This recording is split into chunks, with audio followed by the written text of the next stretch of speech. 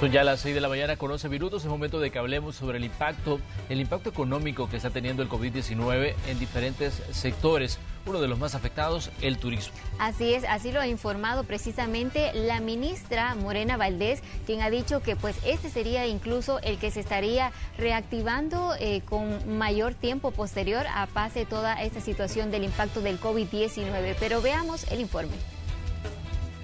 Como te decía, hemos estimado un 20, un 25%, que podría ser equivalente a 440 millones de dólares. Estas son las consecuencias que el COVID-19 dejará al sector turismo uno de los más golpeados por la pandemia y que más tiempo tardará en recuperarse, dice la ministra Morena Valdés. Todo ha sido, fue el primero afectado, el, sector que va a ser de primera línea definitivamente y va a ser el último en recuperarse, porque seguramente para que volvamos a viajar como viajábamos antes, vamos a pasar por un periodo de tiempo más largo, que eh, de los otros sectores. Los rubros más afectados dentro del sector turismo son las turoperadoras. Si tú me preguntaras, son las que más han salido afectadas y los guías turísticos, porque claro, ellos viven del día a día y es donde tenemos más micro y pequeñas empresas. El gobierno anunció un presupuesto de 600 millones de dólares para reactivar a las pequeñas y medianas empresas. Las que pertenecen al sector turismo están contempladas para recibir ayuda luego de la crisis.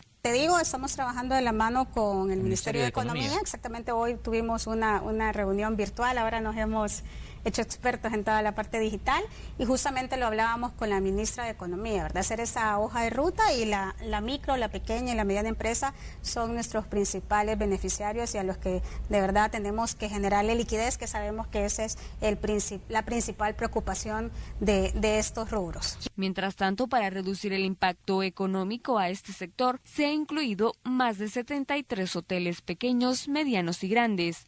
Estos funcionan como centros de contención. Carla Goches, Noticiero Hechos.